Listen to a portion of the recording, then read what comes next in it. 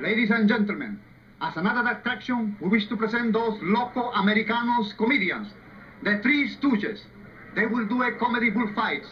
We hope you like them too many. Thank you.